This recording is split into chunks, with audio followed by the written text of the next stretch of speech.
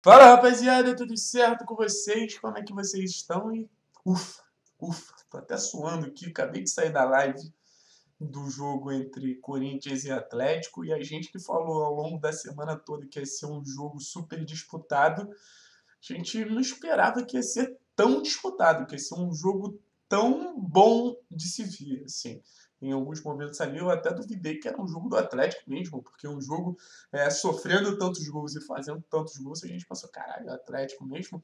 Mas falando um pouquinho rapidamente sobre tabela, daqui a pouquinho a gente vai fazer uma live 11 horas simulando, entendendo qual tabela é mais difícil, qual tabela é mais fácil. Mas o Atlético continua muito vivo nessa briga. Todos os times que estão ali buscando esse oitavo lugar, essa oitava vaga, acabaram tropeçando. Santos, Atlético Goianiense, Corinthians e Atlético Paranaense empataram. Flamengo empatou com o Bragantino. Você teve também outro jogo que eu tô me esquecendo aqui, São Paulo e Ceará. São Paulo empatou com o Ceará no finalzinho, no último lance. Então ficou basicamente tudo ali na mesma. E um negócio legal da gente destacar é que o Atlético saiu de dois confrontos diretos fora de casa contra Corinthians e Ceará com quatro pontos. Então, é, apesar da sensação que a gente poderia ter ganho do Corinthians por causa dos gols perdidos, principalmente do lance do Vitinho, também foram resultados assim para a gente comemorar. Em algum momento a gente não imaginava que a gente não estaria brigando por Libertadores, que a gente não conseguiria pontuar em jogos tão complicados como o Ceará no Castelão, Flamengo na Arena da Baixada, Corinthians e Taquera. Então, o Atlético, independente do que conquistar nessa reta final, está muito bem servido. Mas eu fiquei cinco horas falando né, na live do jogo e quando a gente para para respirar, a gente pode destacar a boa atuação do Carezinho, a gente pode destacar o Abner, que porra, é uma pérola, vem jogando muita bola e o Brasil está conhecendo o talento desse menino agora que os lances que ele participa vêm se tornando cada vez mais é, gols. Assim, o Abner vem marcando, o Abner vem dando assistências, o Abner vem participando de lances decisivos. Mas a gente vai falar do Abner mais tarde também, que hoje vai ter vídeo falando sobre o Abner, não vou perder essa oportunidade, né? Mas o que eu acho e o que deixo de ensinamento para a próxima temporada é a lição de não desistir, cara, porque eu bato muito nessa tecla aqui no canal. Tem gente pedindo BKSS, tem gente pedindo Crespo, tem gente pedindo Diniz, tem gente pedindo Cuca, tem gente pedindo um monte de treinador por aí. Eu acho legal você vislumbrar a ideia de um treinador mas o autor não conseguiu transformar esse Atlético por ideias. Muito pelo contrário, ele usa um esquema bem simples. Óbvio que tem mecanismos de complexidade ali que elevam o patamar do trabalho dele. Mas são 4-4-2. Ponto. Mas por que esse time virou tão competitivo e supera cada vez mais as próprias limitações? Porque se esse time do Atlético marcar três gols num jogo, é uma limitação. A gente sabe claramente que o Atlético tem uma limitação ofensiva. Mas o time parece não ligar muito para elas. Vamos lá tentar, sabe? Isso só mostra que é um elenco muito mobilizado, um elenco muito unido por um objetivo que é conseguir essa vaga na Libertadores. Ou terminar o campeonato de maneira mais digna possível. E como eu falei, o Atlético vem conquistando resultados, jogadores vêm sendo potencializados, vêm sendo mais comentados, mais observados a torcida fica mais satisfeita, todo mundo sai ganhando.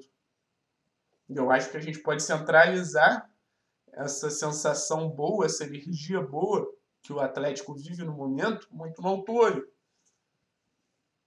Mas foi o que eu falei. É, é para a gente olhar para o futuro e ter esse período como ensinamento.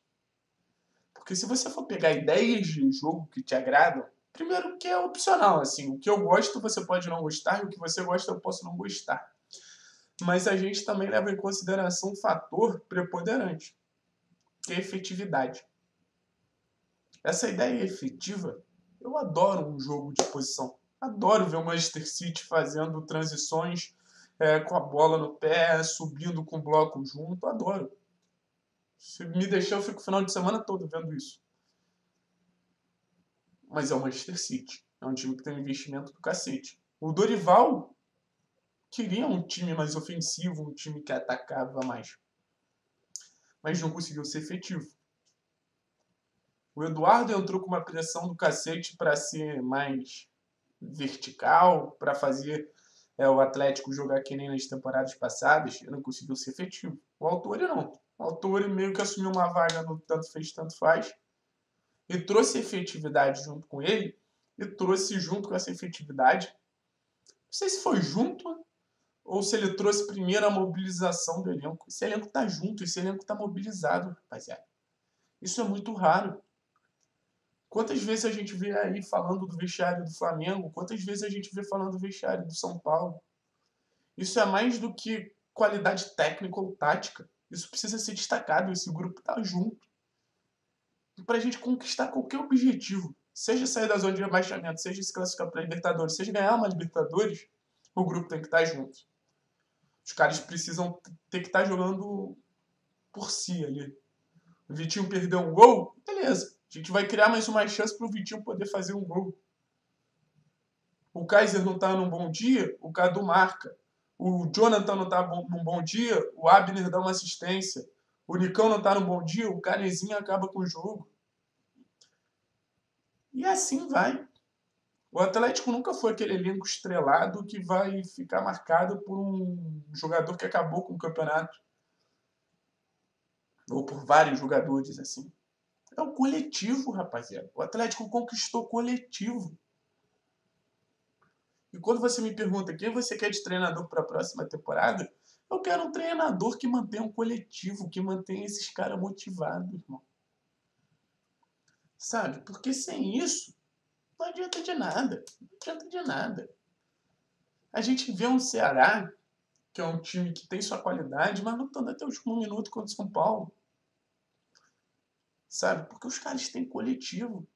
Pergunta ao torcedor de São Paulo, que acabou de empatar com o Ceará no Morumbi, se ele tá puto. Ele deve estar tá puto, deve estar tá irritado com o resultado, mas está feliz pelo time ter lutado até o último minuto, algo que não vinha acontecendo com o Diniz. E todo mundo falando, ah, o vestiário quebrou, sei lá o quê. Quantos boatos a gente não teve no próprio Atlético de vestiário quebrado? E alguns eram até reais mesmo, de funcionários que não ajudavam no bem-estar do dia a dia do clube, sabe? Então, porra, foi o que eu falei, eu consigo destacar os lances do Vitinho, eu consigo destacar a boa atuação do Abner, do Carinzinho, mas no final das contas eu destaco o coletivo. O que o Atlético conquistou nessa reta final de temporada, e o que é mais precioso, né? Porque o Atlético conquistou várias coisas, mas a base disso tudo é o jogo coletivo. É uma cara de equipe. São 11 titulares e jogadores que têm qualidades diferentes, que vão viver noites diferentes, que vão viver histórias diferentes, que vão ter situações diferentes. Por exemplo, o Alvarado. O Alvarado jogou mal ontem, mas não recebeu tantas oportunidades. O Vitinho jogou mal ontem, mas também é um cara que está voltando de lesão depois de muito tempo. A gente entende ali todas as situações sabe? Mas, pô, se esse cara jogou mal, foi o que eu falei. Vamos tentar recompensar com uma boa partida do companheiro ao lado. Parece muito motivacional, mas não é. É, é humano. O futebol, às vezes, a gente esquece que é um jogo de, de parceiros, assim. É um jogo de 11 jogadores. E a relação entre esses jogadores é muito importante. Muito, muito, muito, muito importante mais importante que qualquer coisa no jogo, posso dizer. Sabe? E a relação entre os jogadores do Atlético vem sendo muito bonita. Muito bonita de se ver. Ontem eu fiquei abismado, assim, porque quando o Atlético tomou o primeiro gol, eu falei, fudeu, como é que a gente vai fazer para disputar esse jogo? Porque o contexto era muito a favor do Corinthians. Mas não, os caras foram lá, lutaram, brigaram, tomaram 1x0, empataram, tomaram 2x1, empataram, tomaram 3x2, empataram. Time chato, mano. Eu quero o Atlético chato. Eu quero o Atlético do que o Luxemburgo vai na coletiva falar que é o time mais argentino do Brasil. Porque é isso, a gente é chato mesmo. O Corinthians não vai tirar essa vaga fácil daqui, não. Sabe? Eu falo isso do jogo e falo isso da reta final. A gente não vai vender essa vaga barato, não. Se já foi assim ao longo da temporada, uma pena. Não aproveitaram. Agora o furacão voltou. Sabe? A gente pode olhar para o lado entender que não é possível ganhar, mas que é possível lutar. Isso é muito importante. Falar do lado humano do jogo é muito importante. E a gente vai ver cada um, cada um desses 11 ou 15 ou 20 jogadores crescendo se esse coletivo continuar forte dessa maneira, beleza? É isso, rapaziada. Primeiro vídeo do dia. Vai ser um dia de muito conteúdo. Reta final de Campeonato Brasileiro, temporada acabando. Podem ter certeza que a gente vai produzir muito ainda, beleza? Tamo junto, é nóis, viu?